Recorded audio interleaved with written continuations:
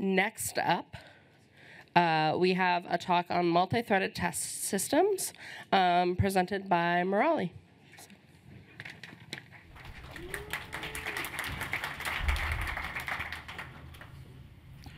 Uh, so today, uh, I'm going to present our work on multi-threaded test synthesis.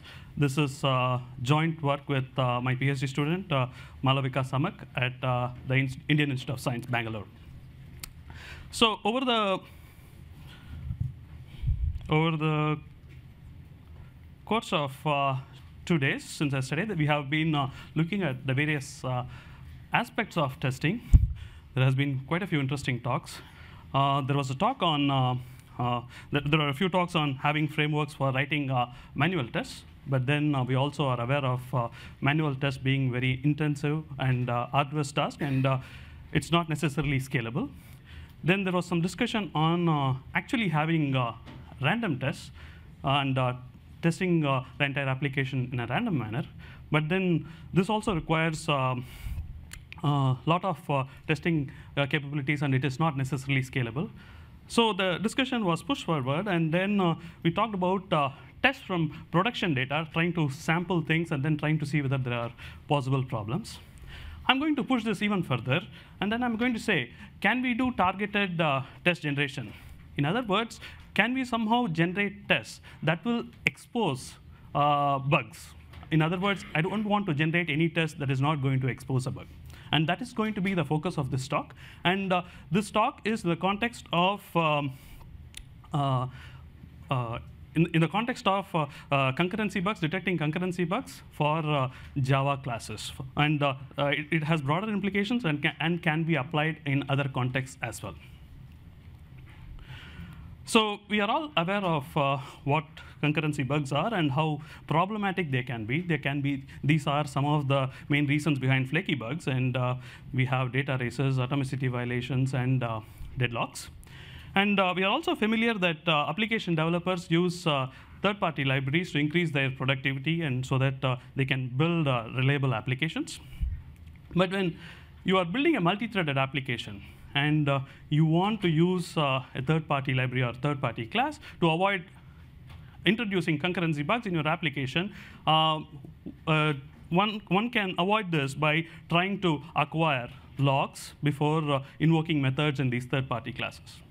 But then there is a significant problem because uh, we need to be aware of what kinds of locks need to be acquired and which method invocations require these acquisitions. So this is going to place uh, an unnecessary burden on the application developers. So one can think of uh, developing thread-safe classes so that this will avoid the burden on um, the application developers. So the question is, what is a thread-safe class? A thread-safe class is as if uh, client applications invoke methods in these classes without worrying about concurrency issues. It's as if they are writing sequential code. And to give you an example of thread-safe classes, to provide the context, some examples include concurrent uh, hash map blocking queue from the JDK. Uh, but then somebody has to do the heavy lifting. How do you ensure thread safety of a class, right? Testing for concurrency issues in general is challenging. I'm going to show you an example of how uh, challenging it is by looking at uh, a fairly popular code base. So there is this library called uh, Hazelcast. It's an open source Java library uh, essentially used for uh, uh application in uh, highly concurrent uh, multi-threaded contexts. It's a actively developed library. in the last year or so, there have been those many commits and quite a few releases and so on. And uh, if you look at one of the classes, synchronized uh, write behind queue, it is declared th thread safe in the Java docs. Uh, essentially, this means the clients need not, using these classes need not acquire any additional locks. And using our analysis, using the tools that we developed in our lab at IISc, we were able to figure out that this class is not thread safe. And we were not even aware of what this class is doing, what kind of, uh, what kind of product is this? We just did our analysis in an automated manner, and we were able to declare that this class is not thread safe. Because there is a corner case that leads to a race. And uh, to manifest this race, it requires a very complex uh, multi-threaded test. I'll tell you how the test looks like. To actually expose the race, one needs to, uh, one needs to spawn two threads. And these two threads need to invoke two methods. Say in this case, two invocations for remove first. Not only that, the invocation needs to happen on two different objects, A and B. Not only that, you also need to make sure that the field Q of these two different objects, A and B, points to the same object as shown in the figure. Now, if you provide a test like this, then you can have an assertion that says there is a data race. But somebody has to write a test like this. In other words, the question is which methods need to be invoked concurrently? Because I can look at all possible pairs of invocations, but then that is alone is not sufficient. What parameters need to be passed to these methods? And then that becomes completely combinatorial, right? And this is a hard problem. So how do we detect thread safety violations? Traditional software testing is ineffective in the context of uh, testing multi-threaded applications because there is varied behavior for the same input. It completely depends upon the schedule that is being explored. We need to run on multiple schedules, and therefore the number of schedules is simply unmanageable and therefore not scalable. There has been a lot of work on source code analysis. Companies like Coverity, for which I used to work for some time back, they provide uh, static analysis tools to expose uh, defects, comprehensive coverage of defects, but then they also have uh, false positives. In other words, the developer has to go and then say whether this is indeed a true bug or not, and that can be that can also be a hassle. So what we propose here is why not do dynamic analysis? What is dynamic analysis? Dynamic analysis is you have a class that you want to test for a thread safety violation. You have a test that invokes, you have a multi-threaded test that invokes the various uh, methods in this class. And when this test is run, the dynamic analysis engine will analyze the execution trace and then report possibility of concurrency bugs. And there has been a lot of uh, work in this area in the past uh, decade or so to find various kinds of uh, concurrency bugs, races, deadlocks, atomicity violations, and so on. But the key problem, most of these uh, work have been in the academic circles, and they all focus on trying to develop this dynamic analysis engine, the thing that you see in uh, green there. But the question is, it requires a multi-threaded test. And writing these tests is hard, and you need to develop a complex scenario for these analysis engines to actually expose the bug. For example, in the scenario that I mentioned previously for Hazelcast, these uh, tools will fail if the proper test is not provided. So we asked this question. This is Malavika's uh, doctoral dis dis dissertation work. Can we somehow synthesize these tests automatically that will help the dynamic analysis engines? And this is the goal of the work and the goal and, and uh, uh, what I'm going to talk about today. So why not do randomized uh, test generation? So I have a class with multiple methods, M1 through M9, and a basket full of parameters represented by different colors to represent different objects. I can invoke all possible pairs of methods from two different threads. Not only that, I can provide all possible combinations of objects to these, right? That alone is not sufficient. The objects need to be in such a state that this problem can manifest. And uh, that is simply not scalable because you may have one test somewhere sitting there where you will find a bug and you may miss lots of bugs. And so the goal is somehow, given this class and possible parameters, spawn two threads, find two method invocations, and then find the appropriate set of objects that need to be passed to these two invocations, and then somehow magically there will be a bug in this test. Right? And some of you may be wondering, wait a minute, you just said dynamic concurrency bug detection requires effective tests. And now you are saying test synthesize, but then how do I synthesize the tests in a targeted manner because I need to know where the defects are, and I didn't know it to start with. So this is a conundrum. How do I solve this problem? So this is the problem statement. How do I synthesize multi-threaded tests that expose these concurrency bugs? And the key insight is most of the code repositories will have sequential tests. And writing sequential tests is not as hard as writing multi-threaded tests. So we can leverage this. And uh, we can analyze the execution traces of sequential tests to construct these multi-threaded tests. To provide you an overview, you just take a class and uh, a set of sequential tests, you provide it to our synthesizer, and that will output a multi-threaded test or set of multi-threaded tests.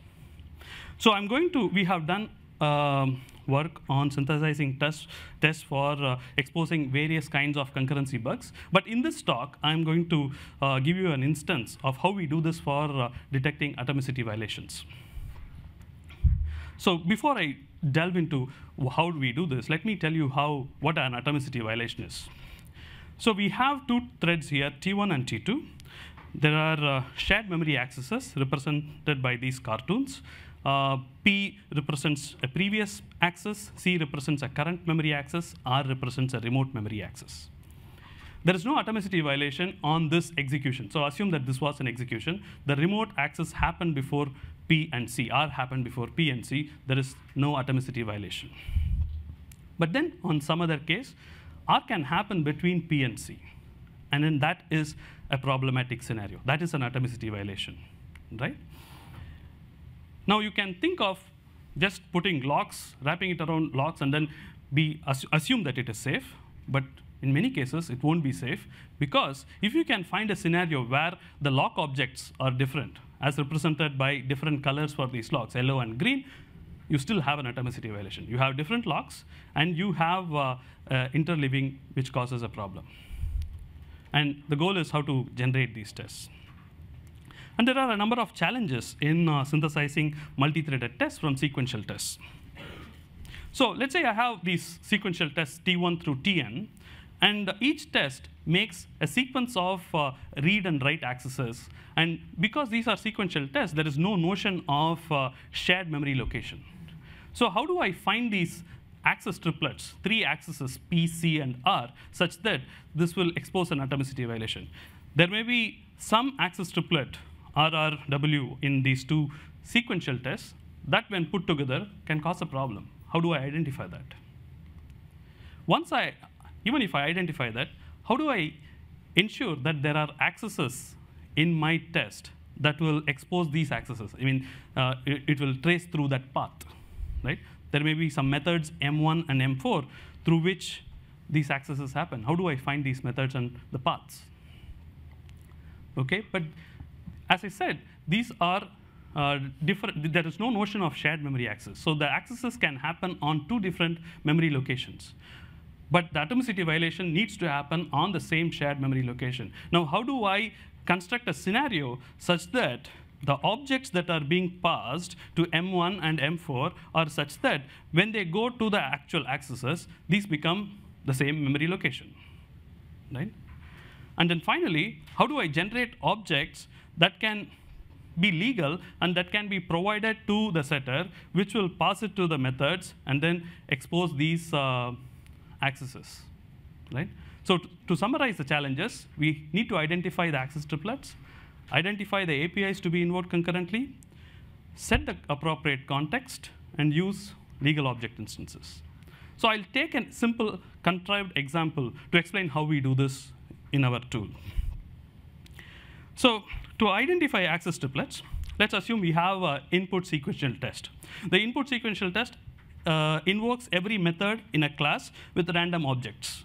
And there are tools that can do this for you.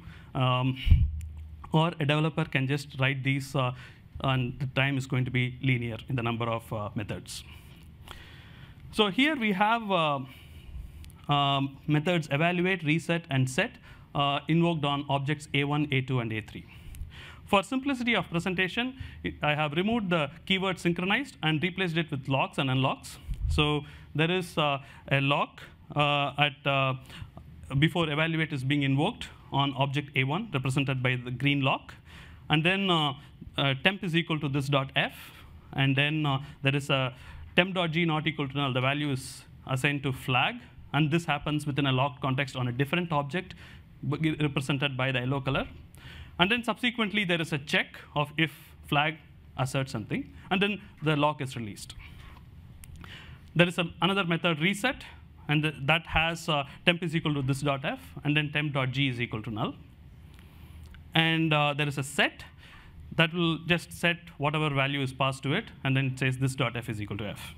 And there is an atomicity violation here between uh, uh, invocations to evaluate and reset, just to set the context. Now observe that uh, the, if you just take this multi, if you just take the sequential test, the objects and the locks that are happening are completely different. So if you just piece these two things together, you are not going to be able to expose any atomicity violation, right? Um, so let's see how we can identify the access triplets. We say we'll identify the access triplets as follows. It needs to access the same field. The P and C accesses need to be consecutive accesses. And the PCR accesses should, are, are such that they need to be of the following type. It should be a read, read, write, write, write, read, uh, write, sorry, uh, read, write, write, and uh, write, read, write. These are the scenarios where the atomicity violation can happen in reality. Other, other four combinations will not uh, cause a problem. So in the example here, we see that if we say P, C, and R as represented in the slide, they access the same field, and that is this dot f. And P and C are indeed consecutive accesses, and uh, PCR accesses satisfy that pattern, right? So this is indeed an interesting access triplet, so we'll keep this. Observe that the locks that are being acquired around these accesses are also interesting. So the lock that is being acquired consistently around uh, this dot f in evaluate is only the green lock. The yellow lock is just held and then released uh, after each access. So that is not interesting. So only the green lock becomes interesting. And for reset, there is only the red lock. So we need to make sure that the locks A1 and A2 represented by green and red should not be the same. If they are the same, concurrent access is not possible, right? Not only that, um, we need to ensure that the location a1.f.g needs to be the same as a2.f.g. And only then there will be a shared memory access. So that's another constraint that we need to have to ensure violation. And if we have the object state as follows, a1.f points to g, a2.f points to g, then we indeed will have a problem, right? Now we need to construct a scenario like this. How do I identify the APIs? I have executed the sequential test. I know where the methods are, what are the methods that causes these accesses. So I just pick these methods. In this case, it's simply evaluate and reset. Finally, I need to set the context. So this is the desired object state for the violation to happen. And there was one interesting method sitting right there, set f. And uh, setf just sets this dot f is equal to f. Now, I can take some object a1, pass it f1, a1 dot set of uh, uh, v1, and then that will reset the pointer of a1 dot f to whatever object is being passed. I can take another random object, call this method, and then that will also reset it. And this is indeed the object state that I required, right? I have now set the context. Now I need legal object instances. I can simply do this by using the sequential test. I can use take that as a object generator, right? I'll take the sequential test, and whenever I want objects for invoking a method as parameters or receiver, I'll just execute the sequential test up to the invocation point, capture the objects, and then use that for the invocation. So in this case, I need objects for two invocations of set and an evaluate and a reset. So in the first case, I'll just execute the sequential test, stop it at set, get the objects. I'll do the same for another invocation of set. For evaluate, I'll do the same. And for reset, I'll do the same. So I have collected all the objects that are required. And all I need to do is, remember there is a constraint that we had. I'll just use those constraints to rearrange the objects, and then this will be the test that I generate. So essentially, I'll call o1.set of o2, o3.set of o2, and then invoke, evaluate, and reset concurrently. And this will indeed be the required test case. You can go back and then see that there is indeed, uh, this will expose an atomicity violation given the appropriate schedule, right? So we have implemented tools for this. Uh, so essentially, we have this dynamic analysis engine, and uh, that is split into two phases. One is the test synthesis, and the second is the defect detection and reproduction. Um, we have tools for deadlocks, uh, synthesizing tests for exposing deadlocks, for data races, and uh, atomicity violations. We have also uh, a tool for detecting and reproducing uh, deadlocks, and we are also working actively on uh, having tools for uh, the other atomicity violations and races as well. We have performed uh, experiments on this. We have implemented using the Soot bytecode analysis framework and evaluated it on open source Java libraries.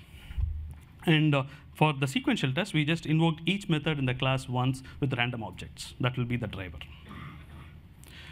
Uh, when we tested this on 10 to 15 uh, fairly well-tested uh, Java classes, some of them are indeed thread safe, some of them are from the JDK, right? Older versions of the JDK, things like string buffer, synchronized collection, and so on.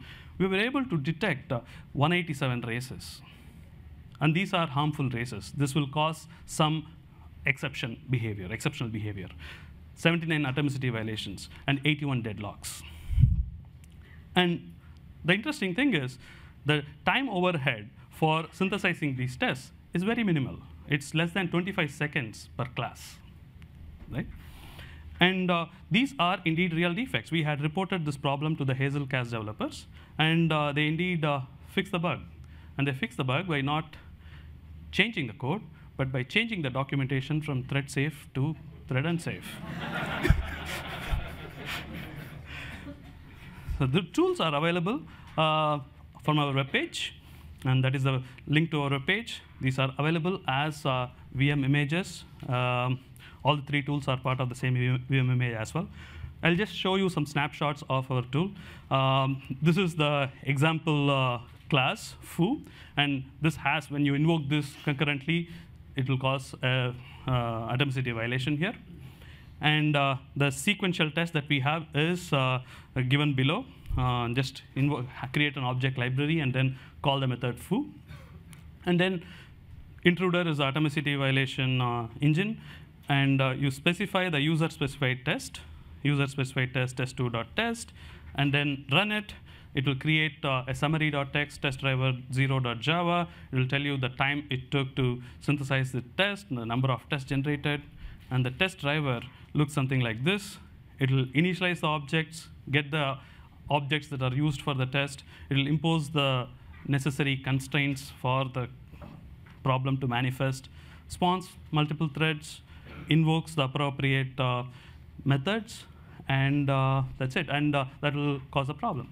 And we also have integrated with third-party uh, tools, some of them implemented by us, some of them uh, that are already available, and uh, to expose the violations.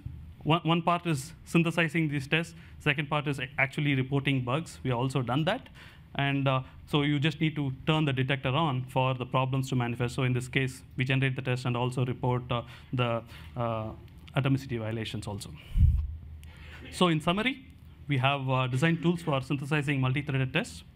The input to the tools require the Java class and a test, sequential tests that invoke each method in class with random parameters. This has broader implications other than uh, uh, whatever I have spoken here, and we are actively, our research group is actively working on that. These tools have been uh, helpful in detecting harmful concurrency bugs uh, with negligible time overhead, and uh, the tools are available at that link. And last but not the least, thank you, Google, for uh, fund generously funding our research activities. Thank you.